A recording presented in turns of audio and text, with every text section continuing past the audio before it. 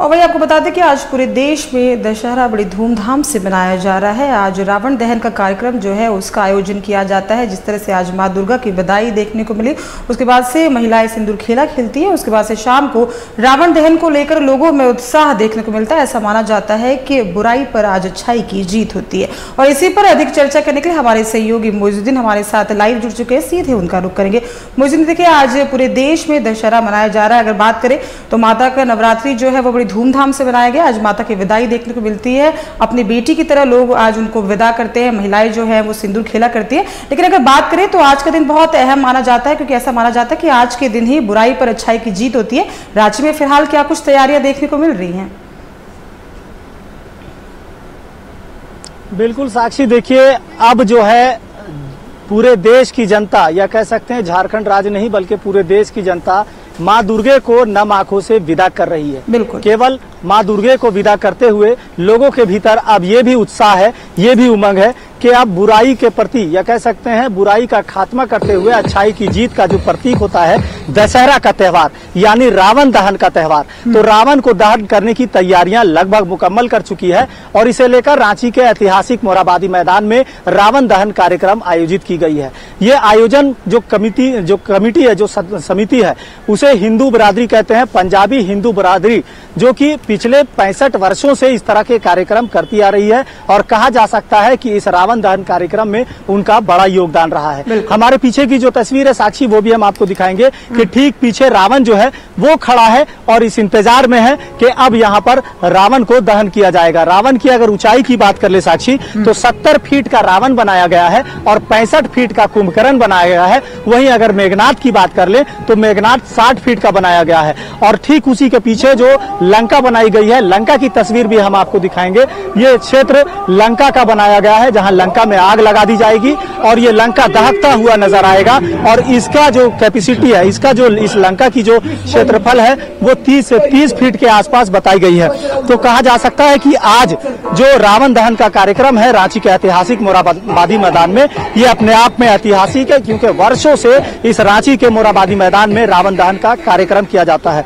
लेकिन सबसे खास बात साक्षी ये भी है कि इस बार पैरो वर्क फाइबर्स जो होते हैं। यानी कि जो आ, आ, कहते हैं कि आ, कम धुआँ फैलाने वाला और वातावरण को दूषित ना करने वाला वैसे पटाखों का इसमें प्रयोग किया जाएगा ताकि पर्यावरण से खिलवाड़ ना हो पर्यावरण को संरक्षित रखी जाए। जिस तरह से हमने कुणाल आजमानी से बात की थी जो चेयरमैन है इस समिति के पंजाबी हिंदू बरादरी के तो उन्होंने भी कहा था कि जो पैरामीटर जो फायर्स होते हैं वो हमने इस्तेमाल किया है। और खास करके इस कार्यक्रम में बतौर मुख्य अतिथि राज्य के मुखिया हेमंत सोरेन पहुँचेंगे और कई बड़े पदाधिकारी भी शामिल होंगे। यहाँ तक कि राज्य रक्षा मंत्री संजय सेठ और कई बड़े जो नेतागण हैं वो यहाँ पर मौजूद होंगे।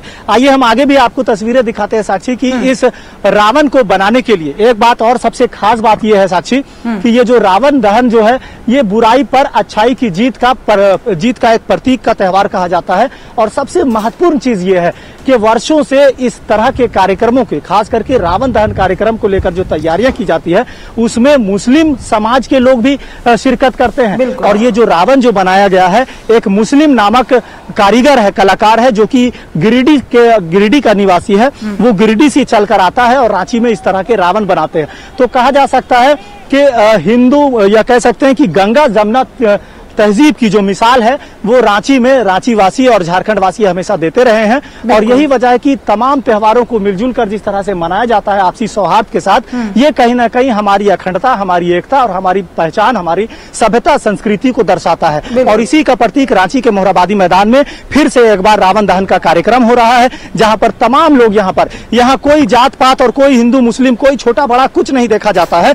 यहाँ पर सभी लोग आपस में मिलकर बड़ा ही बड़ा ही खूबसूरत अंदाज अंदाज से यहाँ पर पटाखों के साथ रावण को दहन करेंगे। लेकिन सबसे खास बात ये भी बता दें साक्षी की जिस तरह से हम प्रत्येक वर्ष रावण को दहन करते हैं इसमें प्रत्येक लोग ये भी सोच ले कि इस वर्ष हम अपने भीतर के रावण को समाप्त कर दें ताकि समाज को एक बेहतर दिशा में ले जा, जा सके। हम्म। और एक बेहतर जो हमने संकल्प देखा था जो सपना देखा था कि खास करके जो राम राज्य का जो हम सपना देखते हैं वो कायम हो सके। तो कहीं ना कहीं ऐतिहासिक मोराबादी मैदान में ऐतिहासिक रावण दहन का कार्यक्रम है। हम्म। मुख्यमंत्री हेमंत सोरेन यहाँ पर पुतला मतलब रावण को दहन करेंगे और कहीं ना कहीं ये गूंज पूरे झारखंड में और पूरे हिंदुस्तान में सुनाई पड़ेगी और आज रावण का हम वध करेंगे और इस रावण के वध के साथ एक संकल्प लेंगे कि अब अपने समाज को अपने देश को अपने राज्य को एक बेहतर दिशा में ले जाएँ। यही संकल्प के साथ तमाम लोग और टीवी फोर्टी भी अपने दर्शकों से यही कह रहा है कि इस बार जो हम रावण दहन कर रहे हैं अपने भीतर के रावण को भी समाप्त किया जाए विनाश किया जाए और एक अच्छे सफल रास्ते में हम निकलने का प्रयास करें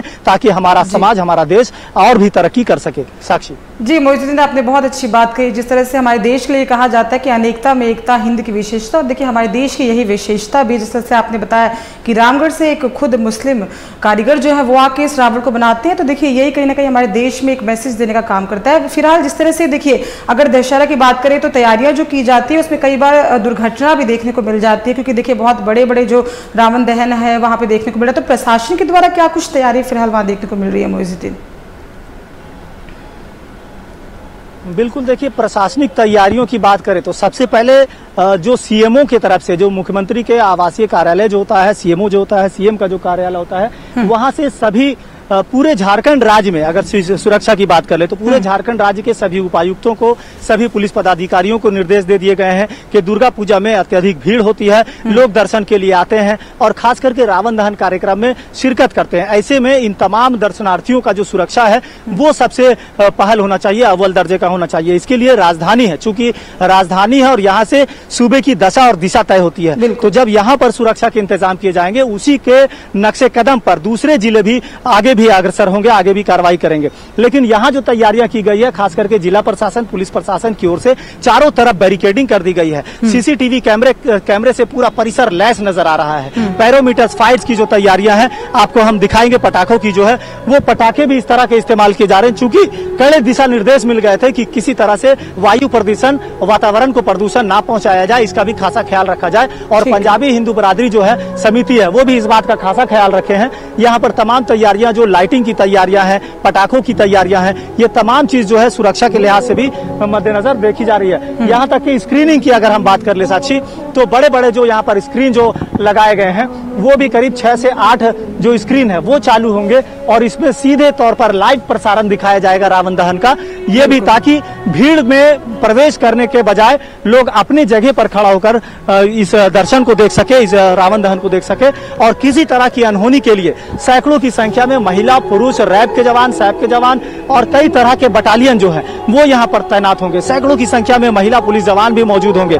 खास करके महिलाओं के लिए, पुरुषों के लिए अलग अलग निवेश और प्रवेश के द्वार बनाए गए हैं। यहाँ तक के जो वीआईपी सीट्स होंगे, उनके लिए भी अलग से इंतज़ाम किया गया है। कुर्सियों की वहाँ पर साथ सजावट कर दी गई है। तमाम कुर्सियाँ हैं, सोफा है, सारा कुछ लगा दिया गया है। और यहाँ तक के जो बैरिकेडिंग लगाई गई साक्षी, वो बैरिकेडिंग इस वजह से भी लगाई गई है कि लंका में जब आग लगती है तो आग का धुआँ काफ़ी तेज होता है और लंका के भीतर भी जो पटाखे होते हैं वो किसी को नुकसान न पहुँचाए। इस वजह से भी सुरक्षा के लिहाज से काफ़ी तैयारियाँ की गई है। आगे हम अपने सहयोगी को कहेंगे अरविंद कृपया आइए आगे दिखाते हैं। यहाँ से जो रॉकेट जो चलेगा सीधे रावण के रावण में जो होगा रावण में जो जाकर अटैक करेगा वो तीर यहाँ पर से तीर और धनुष के माध्यम से यहाँ से सीधे छूटेगा।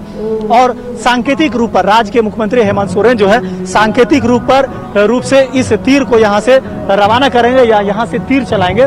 और ये उसी के लिए यहाँ पर एक जो लोहे का जो बीम नज़र आ रहा है इसी में वो तीर की तीर का जो ये होगा और एक रस्सी लगा होगा। रस्सी के माध्यम से तीर होगा और सीधे वो जाकर के अटैक करेगा रावण के छाती पर और कहीं ना कहीं रावण के छाती को चीरता हुआ इस बात को सबूत देगा कि हम आज रावण का वध कर रहे हैं और आज से हम एक संकल्प ले रहे हैं कि एक सफल सुख सफल और बेहतर एक वातावरण में पूरे राज्य और देश के युवाओं को ले जाना है। राज्य के मुख्यमंत्री भी इसी बात को प्रमाणित कर रहे हैं। लेकिन झारखंड की सियासत में भी कुछ इन दिनों अलग अलग चीज़ें देखने को मिल रही साक्षी। लोग एक दूसरे को आरोप प्रत्यारोप कर रहे हैं क्योंकि दशहरा के मौके पर जिस तरह से झारखंड की राजनीति लगातार अलग रूप ले रही है क्योंकि अब चुनाव का समय भी नज़दीक आ रहा है ऐसे में अब कहीं ना कहीं इसको भी लोग ध्यान में रखते हुए। लेकिन आज का जो कार्यक्रम है ये अपने आप में बेहद ही ऐतिहासिक और रोमांचक देखने को मिलेगा साक्षी। बिल्कुल, आपने बहुत सुंदर और अहम जानकारी साझा की हमसे, उसके लिए बहुत बहुत धन्यवाद। आपका मौजूद अपडेट आपसे लेते रहेंगे, खबरों पर बने रहेगा। तो देखिए, साफ़ तौर पर तैयारियाँ जो है, मोहराबादी मैदान रांची में पूरी कर ली गई हैं। आपको बता दें कि आज दशहरा को लेकर प्रशासन भी पूरी तरह से रेस है। आज मुख्यमंत्री हेमंत सोरेन वहाँ पहुँचेंगे, जिसको लेकर तैयारियाँ जो है, वो पूरी कर ली गई। हमारे सहयोगी मौजूदीन वहाँ से तस्वीरें दिखा रहे थे कि किस तरह से वहाँ जो पुलिस प्रशासन है या समिति के लोग हैं, उनके द्वारा तैयारियाँ जो है, वो पूरी